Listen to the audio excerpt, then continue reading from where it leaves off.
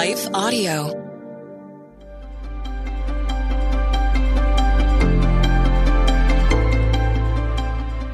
Welcome to the Crosswalk Devotional.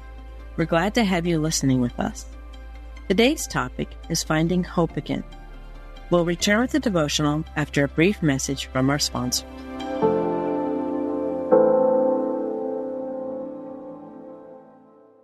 Is life feeling chaotic? I get it. I'm Rachel Wojo, host of the Untangling Life podcast. Don't miss the passionate encouragement and faith based resources you need to help you clear your head and calm your heart. As Shell says, it feels like Rachel always knows what I need to hear. She keeps it real and is so humble. Her podcast is just the cherry on top. Enjoy Untangling Life with Rachel Wojo on lifeaudio.com or your favorite podcast app now. The Historical Jesus Podcast is the sweeping saga of the life and times of Galilean Jesus of Nazareth, as well as the faith, religion, and church founded to honor and disseminate his acts and teachings. Join me, Mark Vinet, on this fascinating journey through time, exploring the many great works of Christian theology, literature, architecture, music, and art inspired by the words and deeds of Jesus Christ.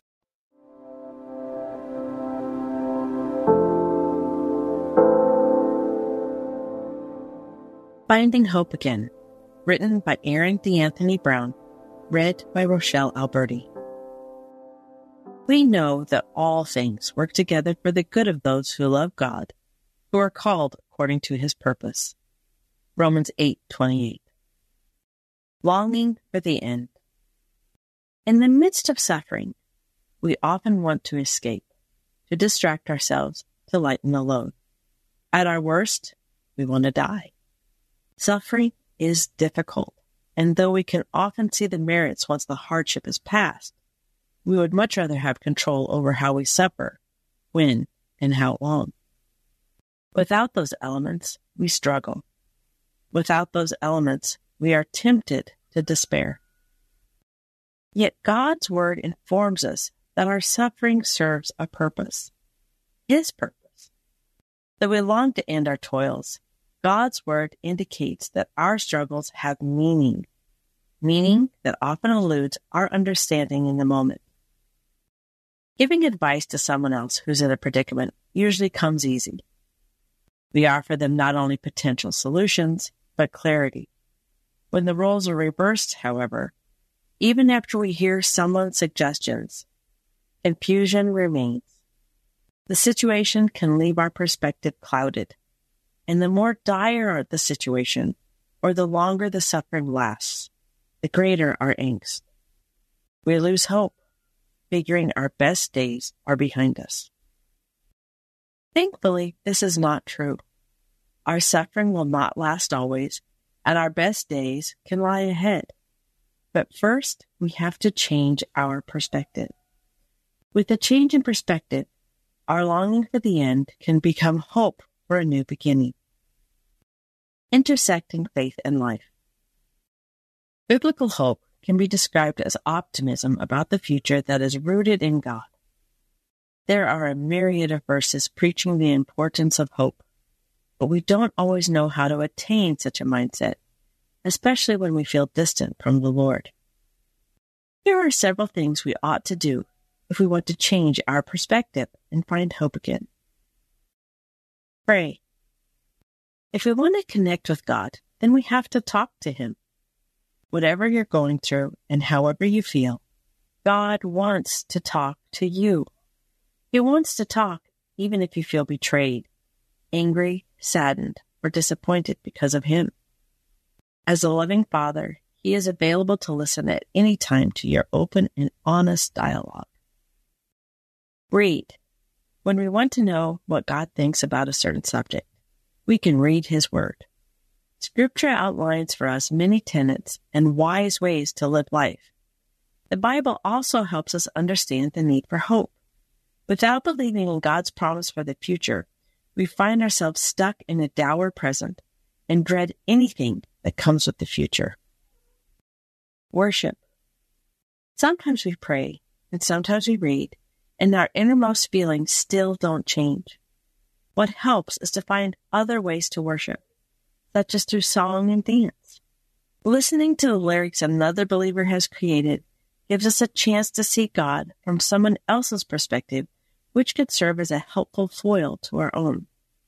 Or the words simply give us a new perspective on a situation. When we dance, we give our minds a rest from the deep thinking and stress and simply exist with God in the moment. Give thanks. An attitude of gratitude prevents us from growing bitter even when we struggle throughout life. In fact, gratitude helps us remember how the Lord provides for us and other people. Thanksgiving also serves to keep us humble, knowing that what we have is not to be taken for granted, no matter how bleak life may seem. Confess. Our natural tendency is to blame external reasons for why we do not have hope. But if we're being truthful, sometimes we are the reason for our misfortune. When we take the time to look inward, we recognize the ways in which we impede our own progress, and we learn to stop blaming other people or God for our problems. Be humble. The proud believe in themselves, but the humble believe in God. The humble also take the time to remember the suffering of others. When we do so, we keep in perspective that our situation could always be worse. Learn. Being teachable is crucial to the life of a believer. If we are to follow God wholeheartedly, we have to be willing to grow, to trade in old ideas for new and holier ones. We are a sinful people, and sin naturally leads to death and if not death, then despair. God offers a better alternative, but He gives us the free will to choose. Keep trying. There will be times when we want to stop trying. There may be many times, in fact, but if God's promises are true, then we can count on them being fulfilled. We have no authority over when, but we can have the confidence in God that what He says will come to pass. The suffering we face today is arduous, but as Paul said, our present day problems not worth comparing the glory of God will be revealed. Further reading and listening. Romans 8 18, Psalm 13, Psalm 23 1 through 4, Hebrews 11 1, Romans 15 13, Jeremiah 29 11, Real Love by Kirk Franklin. All Things Are Working by Fred Hammond.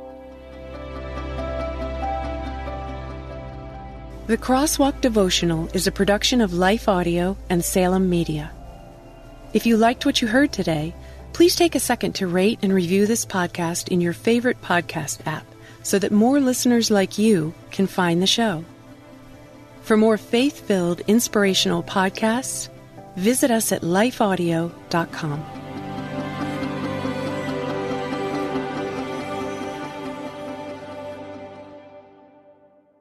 Hey, everybody, I'm Dale. And I'm Tamara. We're hosts of the Kainos Project podcast, where we help you tackle ancient Christian truths in an everyday settings. To learn more and subscribe, go to lifeaudio.com.